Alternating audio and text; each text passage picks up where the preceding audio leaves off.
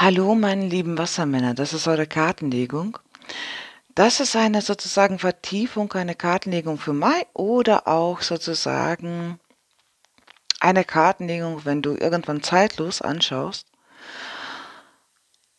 dann ist das diese, dass du solltest die wissen. Das sind vier verschiedene Themen, die sozusagen dir sollten mitteilen, was ist gerade in deinem Leben los. Natürlich ist es Frage, ob du gehst in Resonanz oder auch nicht. Das musst du selber beurteilen. Aber vielleicht gibt es diese Karten, die einen Impuls, eine Anregung und vielleicht auch Thema zum Nachdenken oder auch zeigt dir Verschütteltes, was du nicht so gerne wahrhaben willst. Ja, das Weitere ist, ich am 13. Mai mache Live-Stream und ich freue mich, wenn du dabei bist, weil dann lege ich für euch so eine Karte, zum Beispiel das ist Luft. Und hier geht es zum Beispiel um Geistesblitze, Kreativität, aber auch zum Beispiel, wenn es das Menschenbeschreibung ist, das ist jemand, der ist wirklich ziemlich unruhig. Der ist ständig Ideen hat, also Reichtum, Reichtum von Ideen hat, aber bringen kann nichts zu Ende.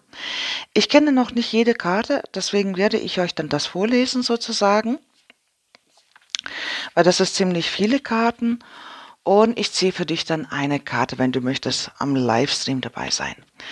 Ja, das Weitere, ich habe auch Mitgliedschaftsbereich eröffnet. Du kannst mit 5 Euro pro Monat sozusagen meinen Kanal unterstützen.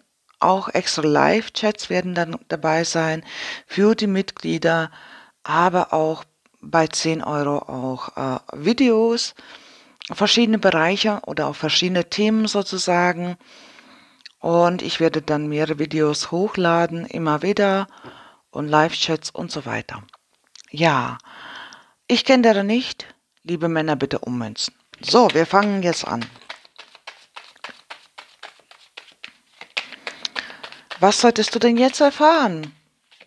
Jetzt in diesem Augenblick. Und was geht es denn?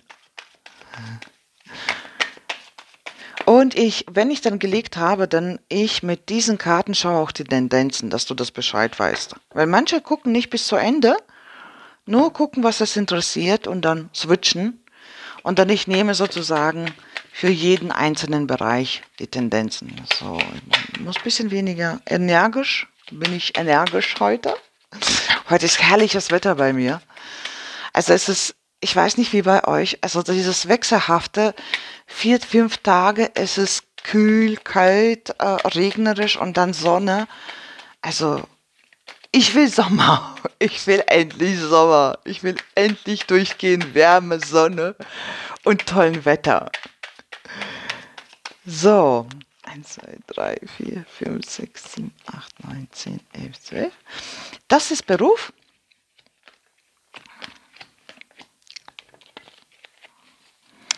Die zweite Reihe ist das Soziale.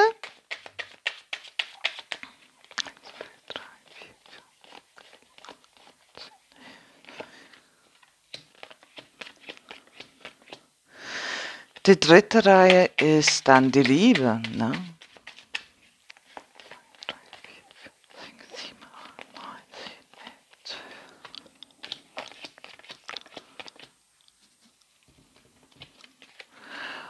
Und die vierte Reihe ist der Schicksal. Und im Schicksal ist alles Mögliche dabei, ne?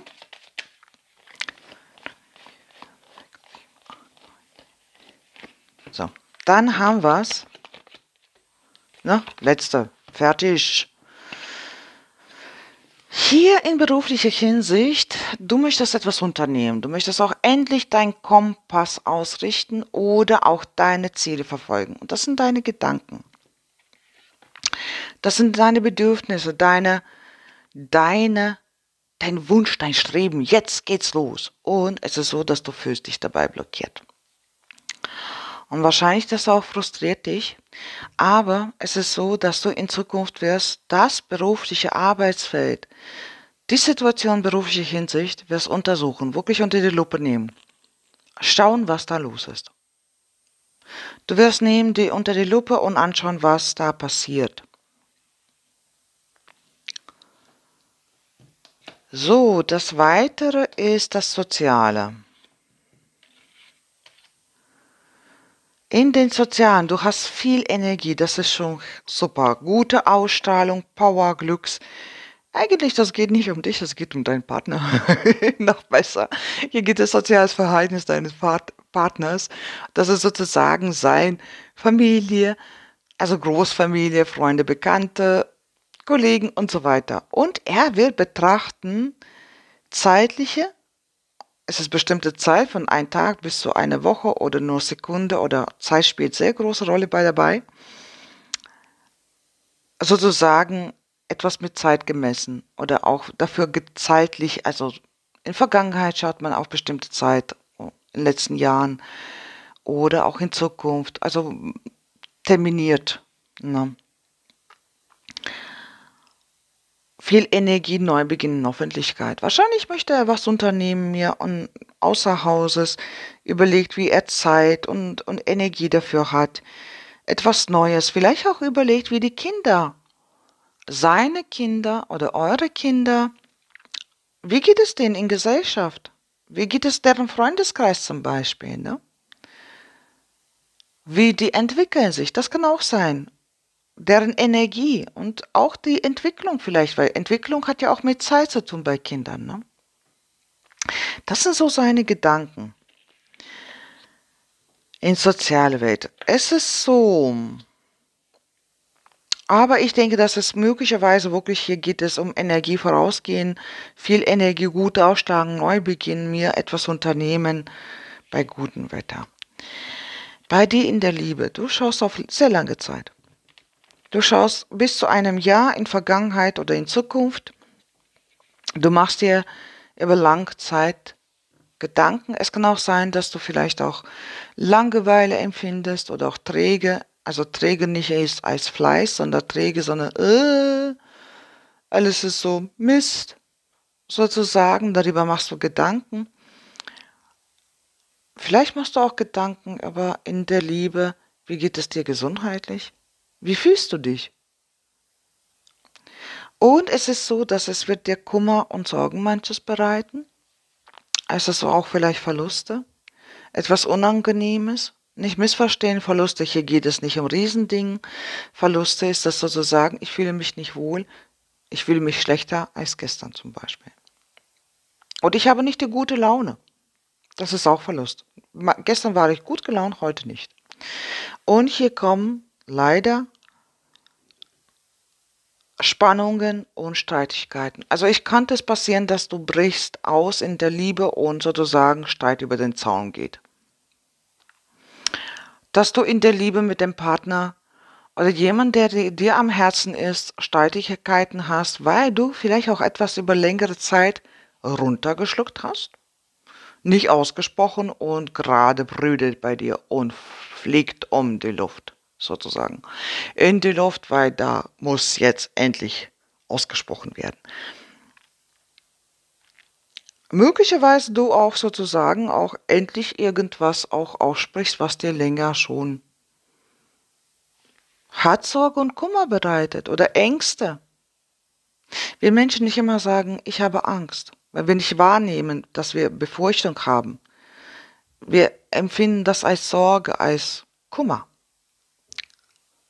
Aber da ist dahinter ist auch Angst, Befürchtung.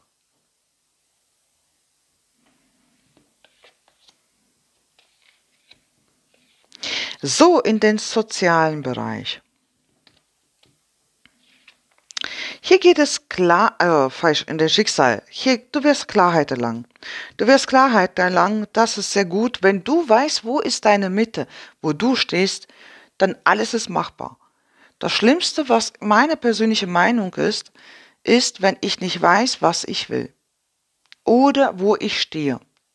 Wenn du selber weißt, wo du in deinem Leben stehst, was du möchtest und hörst auf nachzudenken, was wollen andere und nach anderen ausrichten. Das ist sehr, sehr schwer. Auch für mich ist das unglaublich schwer, weil ich mich richte so gerne mich aus nach Menschen, die ich liebe. Und das kann banale Sachen ausgehen, weil ich wertschätze, dass mein Gegenüber Und wenn du weißt, wo da dein Punkt ist, dann kannst du auch das vertreten. Aber wenn du schwankst immer wieder in deinen eigenen Selbst, Ambivalenzen, Gefühlsambivalenzen, Entscheidungsambivalenzen, entweder oder, dann ist das schwierig. Und hier machst du Gedanken über das Geld für Familie, Wertschätzung auch von Sexualität, Wertschätzung von Familie. Was zum Beispiel wird wertgeschätzt in Familie, was nicht. Und hier geht es auch Harmonie. Jetzt klingt es komisch durch Finanzen. Aber damit ist gemeint, es gibt so viele Menschen, die streiten wirklich wegen Geld. So viele Paare streiten sehr viel wegen Geld. Das ist eine der häufigsten Themen. Natürlich auch Treue, Untreue und Freundeskreis und du bist nicht da und brauchst du wirklich die Schuhe und so weiter. Ne? Das ist das, das ist das, was dich beschäftigt. Und du wirst für dich an manchen Sachen klar. Aber es ist so, dass es wird einiges nicht zielführend kommen und auch maskiert. Wir gucken gleich auch in Tendenzen, wohin das führt. Das bedeutet, diese Klarheit zwar du erlangst, aber möglicherweise du musst diese, diese Irrungen irgendwie verteidigen oder auch selber auch klar mitteilen können. Und manchmal ist das so, ich weiß, ich fühle es, aber ich kann es nicht aussprechen. Oder auch ich, ja, ich kleide etwas Unangenehmes in schönen Worten. Ne? Kann auch sein. So, was möchten die Karten dir mitteilen? Tendenziell. Wohin geht es beruflicher Hinsicht? Im sozialen Bereich bei ihm, weil er für ihn geht es hier wichtiger. Wie geht es in der Liebe?